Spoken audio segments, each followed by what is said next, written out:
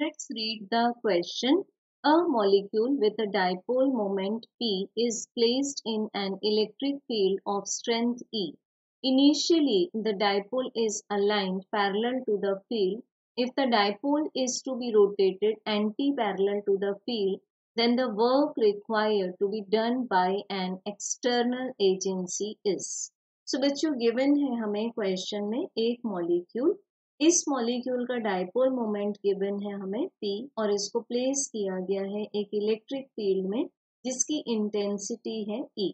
अब बच्चों इनिशियली जब हम बात करेंगे ओरिएंटेशन की तो डायपोल मोमेंट जो कि एक्ट करता है नेगेटिव चार्ज से पॉजिटिव चार्ज की तरफ़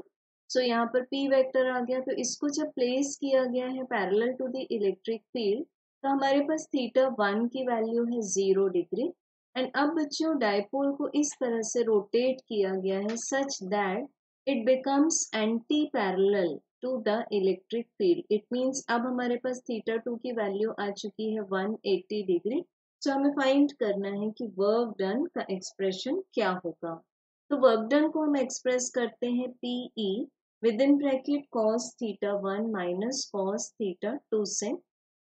तो वैल्यूज़ पुट कर देंगे। Theta 1 is 0 degree and theta 2 is 180 degree अब बच्चों cos 0 डिग्री की वैल्यू होती है 1 एंड cos 180 डिग्री की वैल्यू होती है minus one so work done is equal to P E within bracket 1 minus of minus 1 means plus 1 so this is equals to 2 pe so correct answer is option number d thank you